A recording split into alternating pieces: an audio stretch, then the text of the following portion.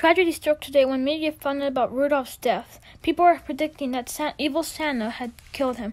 The FBI is searching him for him right now.